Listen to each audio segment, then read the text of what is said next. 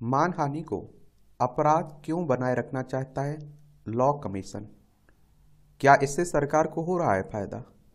ये सवाल बड़ा बना हुआ है। इसी का जवाब ढूँढने की आज हम लोग कोशिश करते हैं।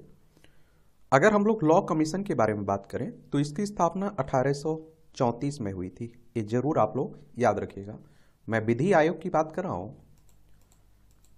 तो साल 2017 कानून मंत्रालय ने लॉ कमीशन को एक लेटर लिखते हुए जवाब मांगा था कि मानहानि को क्रिमिनल लॉ में क्यों रखना चाहिए। मंत्रालय का कहना था कि मानहानि की हमारे देश में काफ़ी आलोचना की जाती है। इतना ही नहीं, कुछ लोगों का मानना है कि इससे मौलिक अधिकारों पर भी प्रभाव पड़ रहा है। मानहानि कहने का मतलब होता है, आपने सुना भी होगा कि किसी ने मानहानि का मुकदमा दायर किया हुआ है। आपके द्वारा कुछ बोला जाता है। आपके द्वारा कुछ लिखा जाता है, कोई चित्र बनाया जाता है, उससे अगर किसी की छवि को नुकसान होता है तो वो मानहानि का मुकदमा दायर कर सकता है। यही कारण है कि कानून मंत्रालय ने विधि आयोग की को ज़िम्मेदारी दी थी कि वह मानहानि के सभी पहलुओं पर गौर करते हुए बताए कि इसे क्रिमिनल लॉ से हटाया जाना चाहिए या नहीं।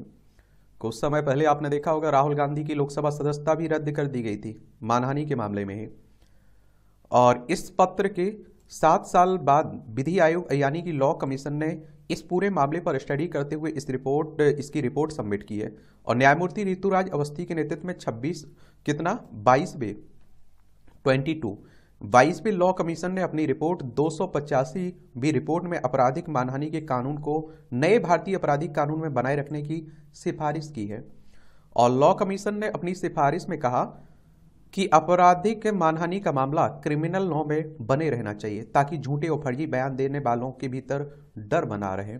क्या बना रहे? डर बना रहे। ये आप देखिए, मानहानि दो शब्दों से मिलकर बना है। मान, सम्मान और हानि, सम्मान का नुकसान। यह कानून लगभग हर देश में चलता है। मानहानि केवल शब्दों से ही नहीं, बल्कि कार्टून के ज़रिए या इशारों में भी हो सकती है। कोई व्यक्ति या संस्था, किसी प्रसिद्ध व्यक्ति या संस्था के बारे में कुछ गलत या ऐसी अफवाह फैलाते हैं जो सच नहीं है, तब अफवाहें फैलाने वाले के खिलाफ मानहानि का मामला दर्ज किया जा सकता है। अगर सच है तो कोई बात नहीं है। मौलिक अधिकारों पर प्रभाव पड़ने को लेकर लॉ कमीशन का तर्क। तो विधि आयोग ने इसी रिपोर्ट में मानहानि का मौलिक अधिकारों पर प्रभाव पड़ने को लेकर कहा कि भारत के लोगों को जो विचार और अभिव्यक्ति का अधिकार मिला है, वह संविधान के तहत मिला है। इसके अलावा अनुच्छेद 21 के तहत लोगों को गरिमा के साथ जीने का भी अधिकार है। संविधान में में इन प्रावधानों को इसलिए लाया गया कि ताकि समाज में शांति और सौहार्द बना रहे। ऐसे में यह बेहद ज़रूरी है कि लोगों की गरिमा और प्रतिष्ठा को बचाए रखने के लिए मानहानि को अपराध की श्रेणी में रखा जाए, ताकि कोई व्यक्ति किसी और की प्रतिष्ठा का हनन ना कर सके। और जो हमें मौलिक अधिकार मिले हुए हैं ना, इसमें साफ़ साफ़ कहा गया है कि अगर आप देखते हैं कि आपके अधिकार है अच्छी बात है, लेकिन दूसरों के अधिकारों का अगर आप हनन करेंगे ना तो आपके अधिकारों पर प्रतिबंध भी लगा दिया जाएगा। याद रखिएगा। अब देखिए, आर्टिकल 19 को आप लोग पढ़ते होंगे अनुच्छेद 19 को। ठीक है आपको भैया, बोलने की आज़ादी है, आप किसी को गाली देने लग जाएँगे, तब आपकी आज़ादी पर रोक लग जाएगी। आपको संगठन बनाने की स्वतंत्रता है अच्छा संगठन बनाइए। अब आप देखिए, देश की एकता, अखंडता को नुकसान पहुँचाने वाला कोई संगठन बनाने लग जाओगे तो प्रतिबंध लग जाएगा। और ये आप लोगों को क्या है मानहानि? तो भारत का संविधान देश के हर नागरिक को अभिव्यक्ति की आज़ादी देता है, लेकिन इसी संविधान में जानबूझकर किसी व्यक्ति के नाम या सम्मान के साथ दुर्व्यवहार करने वालों के खिलाफ सख्त कानून बनाया गया है, जिसे मानहानि कहा जाता है। आसान भाषा में समझे तो मानहानि एक कानूनी प्रक्रिया है जो किसी भी व्यक्ति के सम्मान को जानबूझकर गलत इरादों से खराब करने के खिलाफ बनाया गया है। अंग्रेज़ी भाषा में से डीप डीप मेसन कहते हैं। और मानहानि को आईपीसी की धारा चार सौ निन्यानवे में परिभाषित किया गया है। धारा चार सौ निन्यानवे के अनुसार कोई व्यक्ति लिखकर, बोलकर, पढ़कर इशारों में या तस्वीर के माध्यम से किसी भी दूसरे व्यक्ति की प्रतिष्ठा पर लांछन लगाने की कोशिश करता है तो ऐसे में मानहानि माना जाएगा। आईपीसी की धारा, इसी धारा में मृत व्यक्ति की मानहानि का भी ज़िक्र किया गया है और जिसके तहत किसी भी टिप्पणी या शब्दों के ज़रिए मृत व्यक्ति की प्रतिष्ठा पर लांछन लगाने की कोशिश की जाती है तो मृत व्यक्ति के रिश्तेदार उस पर मानहानि का मुकदमा चला सकते हैं। मानहानि के लिए दिया गया टिप्पणी या बयान का आपत्तिजनक होना बेहद ज़रूरी है और वह बयान आपत्तिजनक है या नहीं, इसका फैसला कोर्ट करता है। कौन करता है? कोर्ट करता है। इन बातों को नहीं माना जाता है मानहानि। तो अगर कोई व्यक्ति या संस्था दूसरे व्यक्ति के संस्थान पर ऐसी बात का लक्षण लगाता है जो सही है तो ऐसी स्थिति में उसे मानहानि नहीं माना जाएगा। जब सच है तो सच है, उसमें क्या मानहानि का? और देश के आम नागरिकों से जुड़े किसी तरह सवाल को लेकर सरकारी सेवकों को कुछ अभिव्यक्त कर, करना मानहानि नहीं होगा। अगर किसी कोर्ट में कोई कार्यवाही चल रही है तो उस मामले से जुड़े लोगों के बारे में रिपोर्ट किया जाना मानहानि नहीं माना जाएगा। अपनी किसी भी रचना को पब्लिक ओपिनियन के लिए रखना या फिर उस पर अपनी राय देना मानहानि नहीं माना जाएगा। मानहानि मामले में कितने साल की सजा का प्रावधान है? तो आईपीसी की धारा 500 के तहत कोई भी व्यक्ति मानहानि मामले में दोषी पाया जाता है तो उसे कम से कम दो साल की जेल या जुर्माना या फिर दोनों की सजा हो सकती है। और इससे सरकार को क्या फ़ायदा हो रहा है?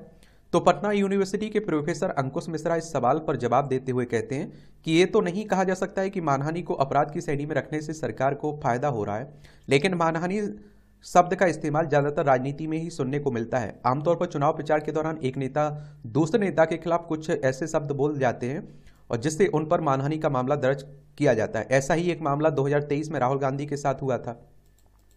जब राहुल गांधी ने, आप देखिए, मोदी सरनेम मामले में दोषी करार दिया गया था, उस वक्त दिल्ली के सीएम अरविंद केजरीवाल समेत कई विपक्षी नेताओं ने आरोप ज़रूर लगाया था कि भारतीय जनता पार्टी गैर बीजेपी नेताओं पार्टियों पर मुकदमे करके उन्हें खत्म करने की कोशिश कर रही है। उन्होंने कहा था कि हमारे कांग्रेस से मतभेद है, लेकिन राहुल गांधी को इस तरह मानहानि केस में फंसाना ठीक नहीं है। जनता और विपक्ष का काम सवाल पूछना है।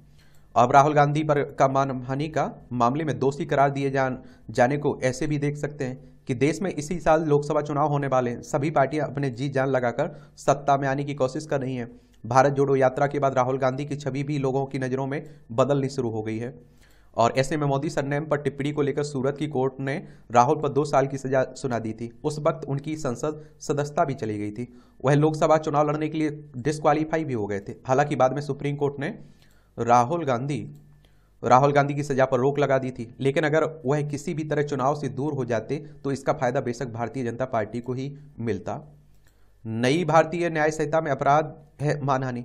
तो नई भारतीय न्याय संहिता और आईपीसी में आपराधिक मानहानि को अपराध के तौर पर रखा गया है। और इतना ही नहीं, नए भारतीय न्याय संहिता में आपराधिक मानहानि के मामले में दोषी पाए जाने वाले शख्स को सोशल सर्विस करने जैसी सजा देने का भी प्रावधान है। और इससे पहले दोषी को सिर्फ़ जुर्माना और जेल की सजा का प्रावधान था, लेकिन अब इसमें सोशल सर्विस जैसी सजा भी जोड़ी गई है। तो यही कहानी है आपकी मानहानि की।